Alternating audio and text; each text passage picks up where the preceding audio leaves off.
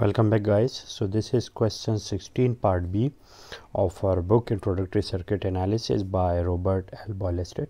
So what we have to find here so previously we have seen that we had to find out the voltages across the elements of our circuit but here we are given to find out the values of V1 and V2 while these one V1 V2 are not the potential differences but are the point voltages okay? So we can see here that these are the voltages which we can find out okay? So similar concept has also been explained in one of my video and I will put the link uh, of that video in our description here. So you may see here that what would be the value of voltage here. So there are basically two or three methods to calculate the voltages at these points here. So uh, what are basically those methods? So let me first describe them here. So if we have the impedances like this one this one okay and this is basically the source. This is let me call it z1 and this is z2 and the source voltage here is let me call it v of s. So uh, the voltages across different points here are known. So let me call this voltage as v1 and this v2 okay? So this is plus minus v1 this is plus minus v2 and uh, let us have this point which is let me call x and if I want to find out the voltage at v of x how can I find it out?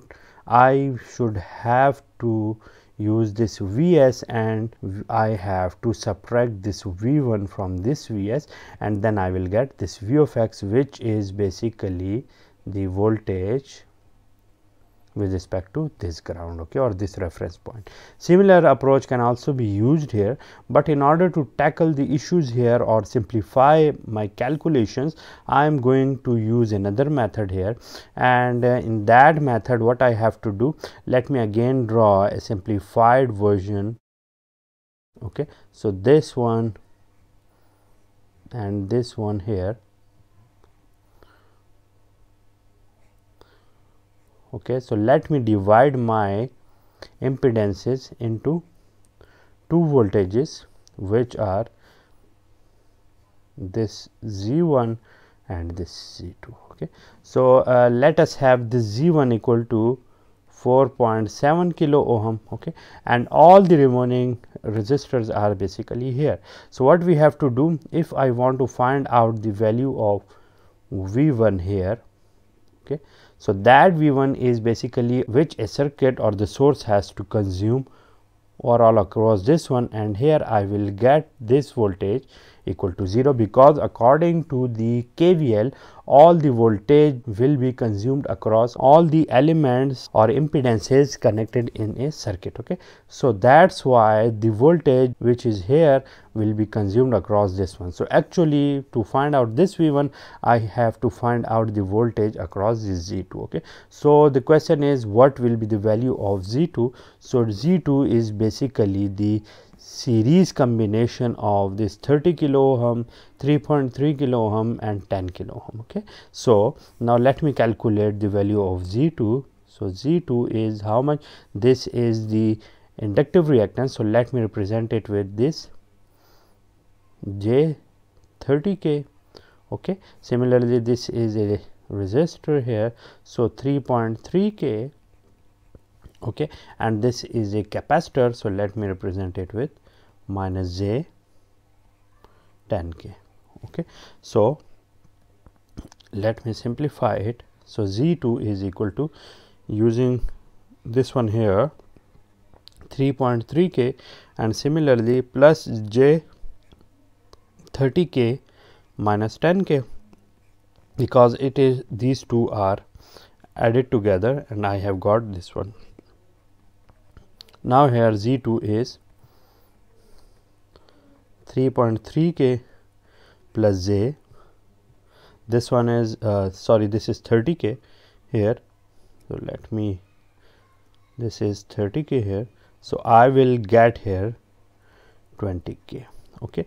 So this is my z2 or in polar form what i will get here?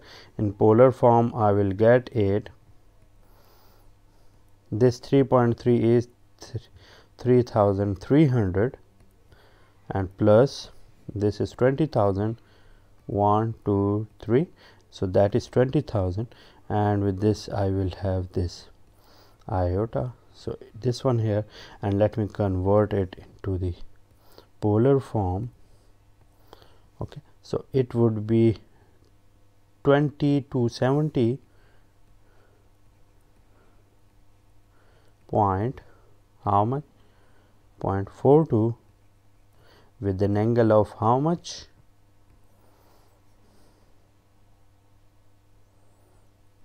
80.63 so 80.63 degrees. And that is basically in ohm so that is the value of z2 which is the resistance across which i have to find out the voltage okay? Uh, so after it what i have to do in order to find the voltages across all of these elements i should also have the total impedance here as well. So the total impedance here will be z of t is equal to z1 plus z2 okay so that is basically the total impedance. So i just have the value that is 4.7 k and the value of z2 is already known. So let me use the value here which is mentioned. So 3.3 k plus j 20 k. So when these two will be added together what i will get? I will get 8 k plus j 20 k. So that is the total impedance. Okay. In order to calculate it in polar form what i have to do? So let me calculate it in polar form. So 8k is 8000 plus 20 1 2 3 this one okay. So that is uh, z of t and now converting it into the polar form this one. So that is 21 540 point 21 540 point 66 okay. And the angle it has is how much? That is in ohm. So let me use this omega here and the angle it has is 68.19 68.19 degrees. So that is the total impedance. Okay. Now i have to find out the voltage across this uh, z2 so let me move it down. I want to find out the voltage across this z2 so in order to do it let me use the voltage divider law. So according to the voltage divider law voltage divider rule uh, this is basically V1 in our circuit. So, V1 is Z2 divided by ZT multiplied by E okay? And in which circuit is this? This is basically here okay? So that is v1 i want to find out the v1 and this circuit had been has been transformed into this one okay? So this is basically e. So let me put their values here. So z2 is how much? Z2 is 20 270.4 with an angle of 80.63 divided by the total voltage and that is 21 540.66 with an angle of 68.19 and the total voltage here is how much? That is 120 volts with an angle of 0 degree. So 120 with an angle of 0 degrees. Okay. So now uh, let me calculate it. So v1 will be here 20 270.4 multiplied by 120 divided by the 21 540.66 okay? And here this is 80.63 plus 0 degree. These are the angles of the numerator terms while subtracting 68.19 from it okay? So now uh, let me calculate v1 okay so it will be it would be 20 270.4 multiplied by 120 okay and divided by 21540 point double six okay. So that is basically 112.92 112.92 and with an angle of 80.63 80.63 minus 68.19 so that would be 12.44 12.44 degrees and this is basically in volts. So that is the value of v1 okay? So v1 is calculated and uh, this v1 is basically this voltage. So now if i want to find out the v2 what i have to do i have to transform my circuit into another version in which we will have again z2 here I will have this voltage source and here let me call it Z3 and Z4 okay? And here it will be this voltage will be how much?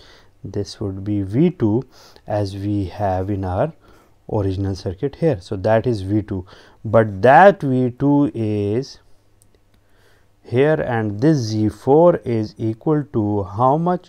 Z4 let me use this Z4 and that is the combination of these two impedances. Okay so 3.3 kilo and this capacitive reactance. So 3.3 kilo ohm and minus j 10 kilo because we have a capacitor here. You may see here very clearly that is a capacitor. So z4 is this one okay? So now uh, that is already in the rectangular form. Let me convert it into the polar form. So what i will have? 3300 minus 10000 okay with the iota here so that would be this one. And now complex this 3 and here I will have 10 5 30.4 10 5 30.4 with an angle of how much?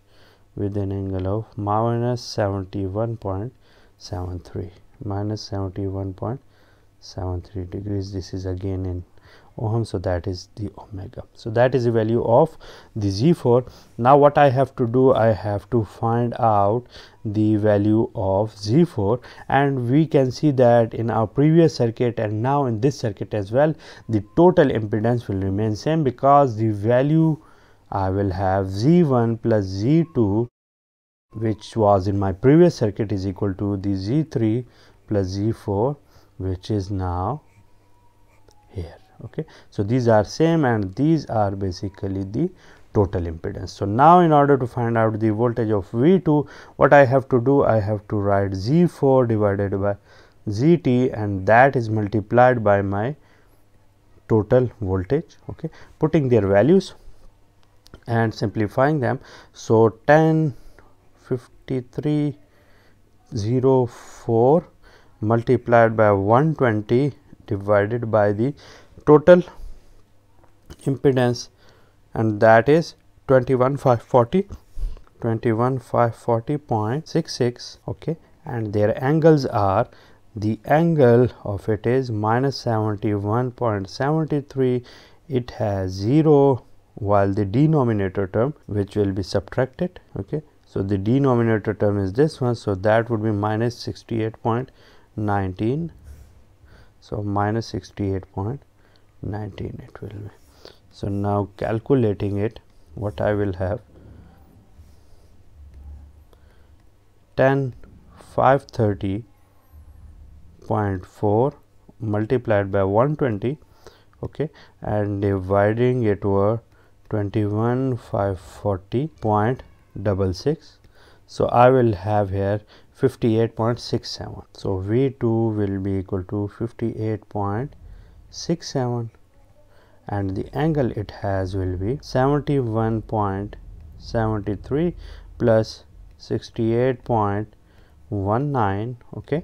So that would be 139.92 while the signs here are negative so minus 139.92 and this is in volts. So that is the value of v2 okay so we have calculated the values of v1 and v2 in our circuit by using the method which i have described and transform my circuit into two more circuits and then analyzing them okay? So that's it for today and i will see you with some more questions in our upcoming videos. Thank you so much and see you soon